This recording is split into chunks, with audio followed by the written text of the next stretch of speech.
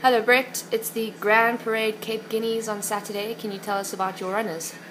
Um, we've got a few runners on the day. We we start in the second race. Uh, we've got Folklore.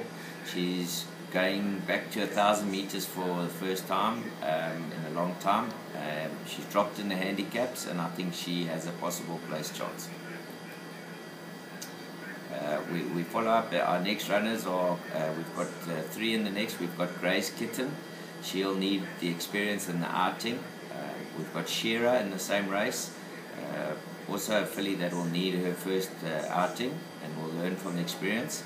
And then Steel Band Band, who ran third on debut. She's working very well at home. She's improved, and I'm expecting a competitive run from, from her on the day.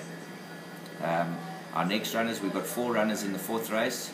We've got two first timers. We've got Yeoman and this is Sparta. Uh, both horses will need their outings and will need the experience. Um, we've got um, Impressed, who ran third on debut. Um, he ran a very good race.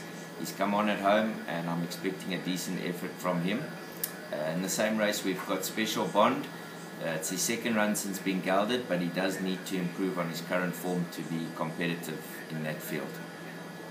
Our next runner is in the in the Grand Parade Guineas itself, and that's NASA. Uh, he's had a very good preparation into this race. He's doing exceptionally well at home. Unfortunately, we have a very wide draw to overcome.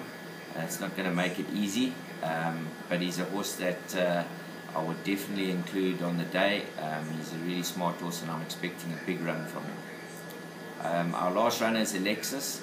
She runs in a very competitive uh, fillies fillies race. Um, there's multiple Group One win winners in the race but um, it is part of her prep for the rest of the season. Um, I think it's a tough race for her, but I, I, do expect her to run into the money.